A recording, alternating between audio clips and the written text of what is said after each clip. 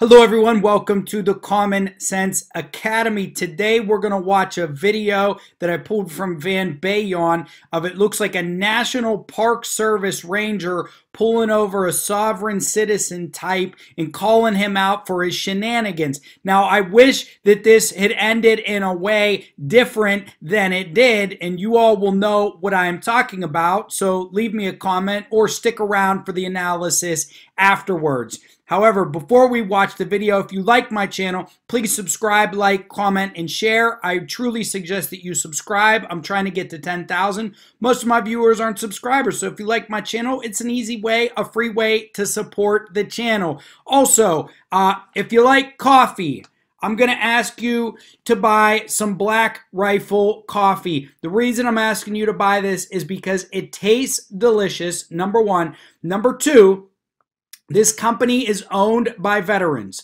Number three, a percentage of each of their profits goes to veteran causes. And number four, I'm a veteran myself. And if you buy this, I get a profit from it as well. So there's a link to Amazon in my description, Black Rifle Coffee. I wouldn't I wouldn't be hawking it if I didn't think it tasted great. All right, so raise your cup in the air. It tastes better when we sip together. I've got the nectar of the gods, my favorite beverage, coffee. You may have something else. Let's do the same time sip. Now let's watch these shenanigans.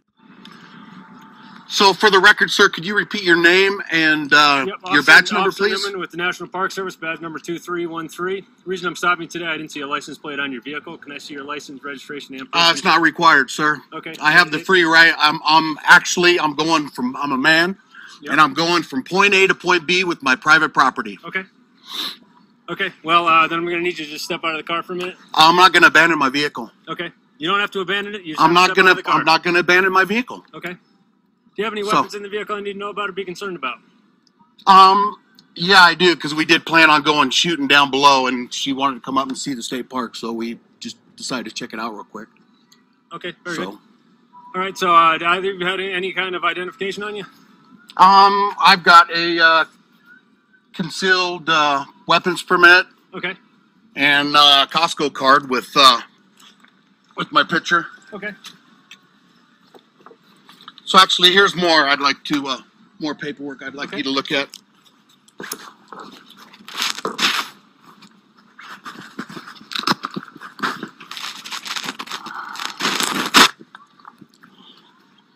Can you hold that for me, please? Just like that, and don't cover up the lens. There you go. That'll have my picture on it. Okay. Okay,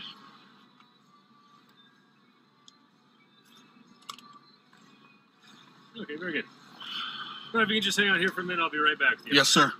So, by you having your lights on, you're declaring an emergency. So, uh, how can I assist you with your emergency? Well, you've already provided me with identification, which is what I requested. Okay, because actually, for uh, turning your lights on without an emergency is actually fraud. Okay. Well, here's your identification back. Okay, Okay, right now I'm just going to give you a warning for not having a license plate. okay, All right, so state law does require that you have a license plate on your vehicle. So I would strongly suggest that you do get that. Well- I see you do have a valid Washington DL, so you're not driving without a license, so I have no issue with that. Okay. right. But I'm not driving under the capacity of a, a driver. Okay. All right. I don't Um, need your shenanigan talk. All right. There's so, no shenanigans. so I know are- my yeah. I know my rights, Okay. sir. So. Yeah. You know what you think are your rights, so you are free to leave. Okay. Okay. Thank you, All sir. right, drive safe. You too. Now, I know what you're thinking. I know what you're thinking because I'm thinking the same thing.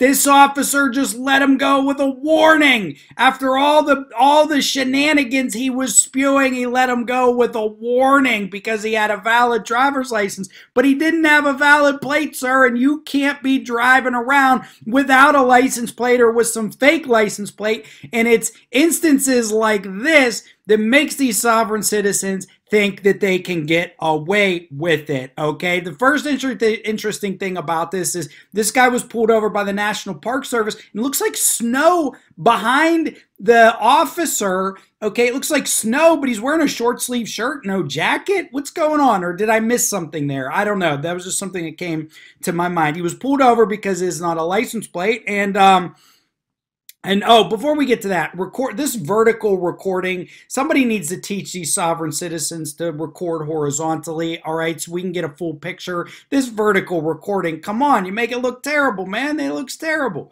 So um, pulls him over, no license plate. He said, "Oh, what does sovereign citizen come out with? Oh, it's not required. It's not required. Oh, why is it not required? Because I'm a man going from point A to point B.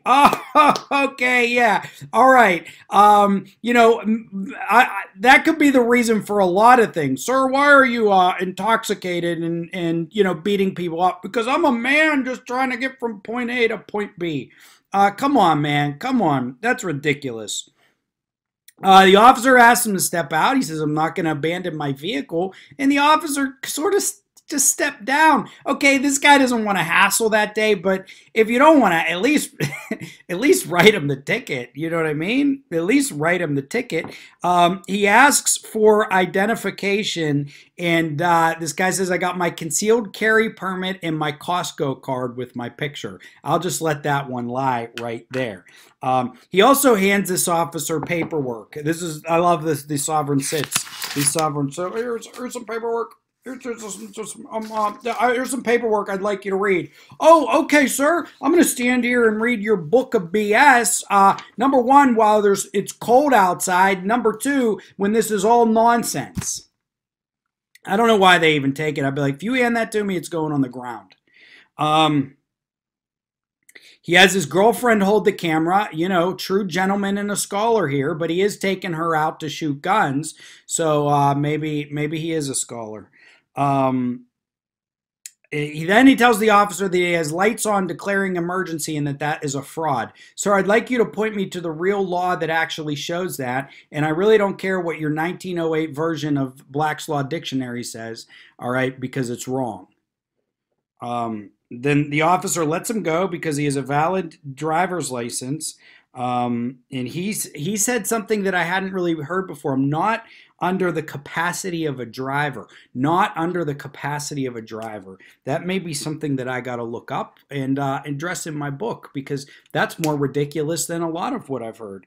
And then the officer says, I don't want your shenanigans. I don't want your shenanigans. I know my rights. He says, Oh, these are the rights that you don't. These are rights that uh, the officer says, um, yeah, these are what you believe are your rights, but they're not actually your rights.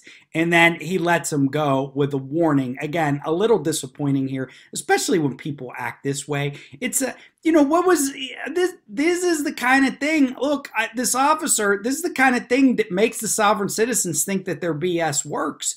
And uh, they, they use the stalling tactic, and sometimes it does work. And the stalling tactic worked here. Uh, so I thought this officer, look, if you don't want to, if you don't want to arrest them and pull them out of the car, I get that, okay. But you should probably drop them a ticket for breaking the law. Um, it's people who recognize the law and people who are cooperative and nice uh, who deserve breaks. Frankly, that's my personal opinion. So I hope you enjoyed my commentary on Common Sense Academy. If you like my show, please subscribe, like, comment, and share. Sign up for my email list. You get a free PDF on the history and examination of the sovereign citizen movement and get some black rifle coffee. I tell you, it's worth it. It goes to a good cause. The link is below. Thanks.